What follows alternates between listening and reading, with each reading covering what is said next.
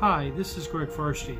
Thanks very much for inviting me to uh, answer your questions, and I hope you enjoy the interview.